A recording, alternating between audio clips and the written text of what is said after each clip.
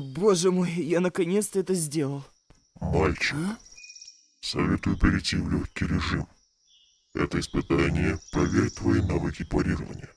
И если ты не подготовишься, то ты не справишься и будешь беситься и нервничать. Ой, да ладно, это всего лишь босс Раш. Как его...